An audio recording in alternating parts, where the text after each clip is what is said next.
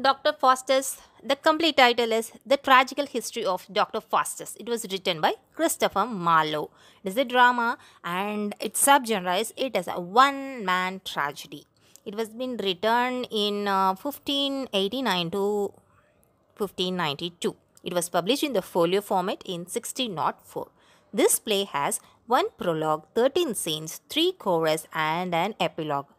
It was completely written in the blank verse.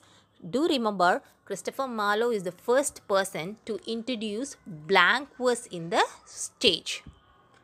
The blank verse in the poem was introduced by Surrey, but the blank verse in stage was first introduced by Christopher Marlowe.